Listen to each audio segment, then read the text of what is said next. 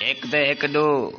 गत्ता तुम्हारी भेड़ कुल्ला भेड़िया क्या शुरू की थी तू सा पिछू बैठ परसों मेरा लाल चुत्तू दे पुत्रो गश्ती मार दे पुत्रो। निकल तेरी भेड़ को यहाँ कला से निकलवाने।